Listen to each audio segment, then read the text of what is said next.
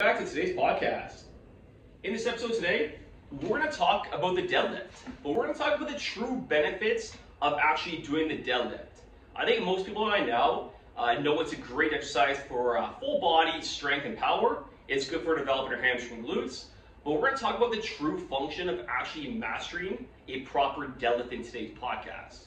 We'll also go over um, a bit of a myth that deadlifts can be bad for your back. And some people swear on it, say it's the worst exercise you can do, and never do deadlifts uh, for your back because it's going to wreck it. And you got some people like me saying it's the best exercise you can do for your back if done correctly. So I'll kind of address that in a little more detail in the middle of the podcast. And at the end of the episode today, we'll talk about what you need from a mobility standpoint to get yourself in a good position to do a deadlift. Because if we don't have the proper mobility requirements, then yes, it absolutely could potentially be bad for your back. So we'll start with the three main benefits. We'll talk about um, is it bad for your back or not. I'll give you my opinion on it, and we'll kind of break down the mobility checkpoints at the end of the episode. So let's dive into benefit number one right now. And benefit number one, I think this is by far the most important, and that is the deadlift teaches the individual how to flex and extend through the hips. Let's talk about quickly what hip flexion extension is before I kind of jump into it more. Hip flexion, think about pushing your hips back. So when you're doing a deadlift, your spine stays stable, you're pushing your hips back, and then when you come back up, you're extending your hips with your glutes. And a lot of people don't know how to flex and extend through their hips. There might be a little bit of hip flexion, there might be a little bit of hip extension, but a lot of those segments kind of come from the spine. And that's something called relative stiffness, where we kind of move at our most flexible area. And for a lot of people, that's gonna be easier just kind of bend the spine, so kind of round the back, and then extend the back coming up. That's a big problem. And the deadlift can really teach an individual to move through her hips via hip flexion, so we push hips back on the way down, and then the, when we come back up, via hip extension. And that can be an absolute game changer for protecting your lower back, not only for the weight room, but just even performing functional everyday tasks. Because um, the deadlift, the hip hinge pattern, is a very functional task in my opinion. And every single person should know how to deadlift because, um, or hip hinge, I should say, because during the house, whether lifting like a couch or lifting something up, we want to get into that proper hip hinge uh, pattern. And again, if we don't how to flex and extend through our hips, we're going to flex and extend through our spine, and that can cause a lot of micro trauma and uh, breakdown in the process. So a good way to really teach the individual the deadlift how to flex, extend through the hip, um, grab like a some sort of broomstick without the kind of the top mall part on it, put on your head, mid back, and basically a, a bone called the sacrum, so right between your butt. Feet don't hip width apart. You try to maintain those three points of contact as you push hips back, and you extend back up. And if it kind of pops off at the bottom, if uh, let's say the broomstick pops off the lower back, it probably means you're flexing too much at the lower back. And that actually happens quite often when we actually do a deadlift. And usually the reason for that is we're either not flexing properly the hips or we're going too low. If we go too low and we go past our active range of motion, then of course our lower back's gonna have to round and tuck under to really compensate for the movements. So that's benefit number one. I can go on for days about this or for hours about this, but uh, it teaches the individual how to flex and extend the hips rather than flexing and extending through the spine. Absolute game changer if you can learn and master and then load the hip hinge pattern. Benefit number two, it teaches the individual how to create stiffness around the spine. So this is why I love the deadlift as well. If we're performing any sort of heavy deadlift, you're going to have to create some good stiffness in the spine. It's to, you're just not to be able to lift um, a decent amount of weight if you're not creating 360 degrees of good overall uh, core stiffness. And what I mean core, I mean like everything, kind of muscles that kind of um, go across the spine, protect the spine, even around the hip. So the deadlift, it teaches that person to create good stiffness while doing the motion. And that's super important as well because that can help protect the spine, of course. To give you an analogy, Think of the spine as like a fishing rod. So let's say we're in a boat, we, uh, we throw the fishing rod into the water, um, but we want to anchor it down. So we want to get good stability for the rod. And we're going to like attach some wires kind of anchor it down the boat, especially if we're something heavy. And that's going to make it a lot more stable to kind of pull the big fish in if we kind of have those uh, rods to side on the left or right sides of the fishing rod, kind of anchoring it down. And the same thing like a deadlift. If we have a good 360 degrees of stiffness around the spine, so remember the fishing rod is a spine's example, then that's going to create a lot more stiffness, a lot more stability, and that can really help prevent uh, lower back pain. On the other end, let's say if we don't have those wires or those uh, rods kind of attached to the fishing rod for more stability, what's going to happen when you pull something too heavy? The rod's going to flex, right? It's going to bend. Exact same thing for the deadlift. If we don't have good stiffness around the core, when we try to pick up the heavy weight, our back's just going to flex, and then yes, that can obviously cause a lower back injury. But that's I love the deadlift. Um, it's fantastic for um, improving your muscle strength uh, and stability, uh, those muscles around the spine, which can be, again, an absolute game changer for, uh, for preventing lower back injuries, especially if the individual has a lot of motion in their lower back and we're very hypermobile there, so lots of mobility. If we create more stiffness there, um, just another fantastic tool to really protect your lower back. Benefit number three. So we'll kind of get into the, the topic which I think most people think the deadlift um, is great for, and that is it's a great full body exercise um, that really kind of hammers the, uh, the glutes and the hamstrings. So the glutes, besides aesthetics, I get it. Everyone wants good aesthetics, and when we talk deadlifts, that's kind of um, one of its main benefits is really glute aesthetics. But um, having good, proper, functioning glutes goes so much more than just aesthetics. So think of the glutes like the powerhouse of your body. And if we don't have good glute function, we can get so many issues in our body. we can have knee issues, we can have ankle issues, we can have hip issues, we can have lower back injuries, uh, issues. The list goes on and on. And uh, the deadlift, again, is just a fantastic way to um, hit the hamstrings and the glutes and it really kind of help protect joints above and below the hip. So of course, everyone wants aesthetics. If you guys are just pure aesthetics here and that's all you care about for this podcast, uh, you should absolutely deadlift. And of course, there to be a few different variations in terms of what muscles you can hit. So for example, if I'm going more straight knee, that's to be a little more hamstring engagement. If I'm, you know, a little more of a vertical shin angle with a slight uh, knee bend, then we can kind of bias it a little bit more towards the glutes, uh, glutes via hip flexion, opposed to really kind of locking out the knees when we kind of go down. If we're talking traditional deadlift, where barbell, uh, I should say, lifting it from the ground, that's just kind of like a full body exercise. It's gonna get the quads, uh, hamstrings, glutes, basically all the working muscles um, you really think of really. So it's a great full body exercise. So the deadlift, great for glute aesthetics, but remember, having um, good glute function, or should I, should say the glutes is way more just having aesthetics as it serves for having great function for our lower body all the way up to our upper body as it's really the powerhouse of our uh, full body kinetic chain movements. So that's benefit number three. Let's talk about the myth right now. So I, I, I shouldn't even call it a myth, it's a matter of opinion, I guess you could say, although I strongly disagree for anyone saying it is bad for back. But he'll be my, here's my response when people say deadlifting is bad for back. Well, basically, I want you to remember all the things I basically just spat out you. Remember, it teaches the individual how to flex and extend through the hips, which is super important um, because we don't want to flex and extend through our spine, of course. Number two, it teaches the individual how to create stiffness around the spine and basically having 360 degrees of good support, which is obviously very important. Think of the spinal, excuse me, think of the fishing rod example where you kind of just put the rod in the water, you grab something heavy, you hook it on, and the spine, or say the rod can't tolerate it, and it flexes or just bends too much.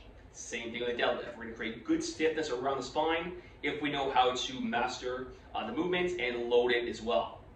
And number three, like I said, I just talked about the glutes and how many um, function actually has the body opposed to just aesthetics.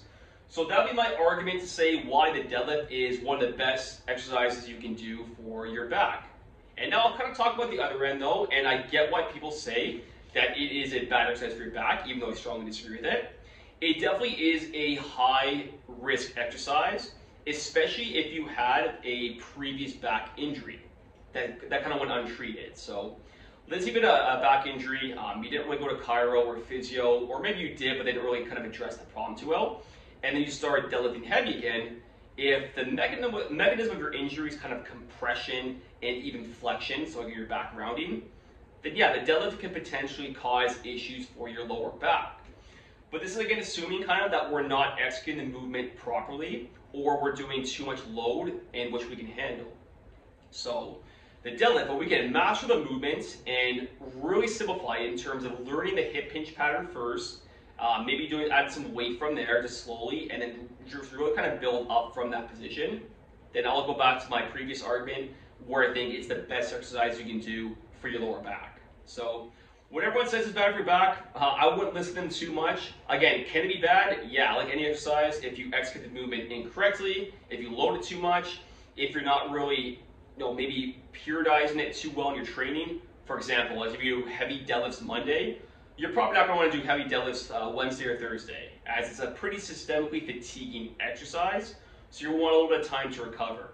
But if you kind of program correctly, you master the movement correctly, and you just um, have the necessary overload, you're not jumping from zero to 100 in terms of weight, then it's, my opinion, one of the best things you can actually do.